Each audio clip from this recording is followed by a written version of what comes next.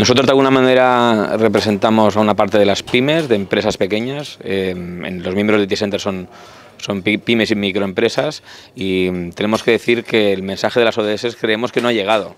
Que si bien a lo mejor es porque es pronto, llevan poco tiempo o porque eh, bueno, no están cayendo todavía en la cascada, no han llegado a las pymes. Y bueno, es una lástima porque algo que queremos transmitir es que las pymes, que son el mayor empleador mundial, eh, tienen un papel fundamental en hacer que las ODS pues, sean una realidad. ¿no? Entonces, algo que he trasladado yo aquí en estas jornadas es entrar en contacto con otras redes de, mm, intersectoriales, de otras empresas, de administraciones, es decir, que esto que ha pasado hoy, que ha sido maravilloso, no se queda aquí, sino que entre en conexión con otras, con otras redes empresariales, no empresariales, de administración pública, para que entre todos eh, esto lo podamos hacer realidad, porque solo se puede hacer entre todos.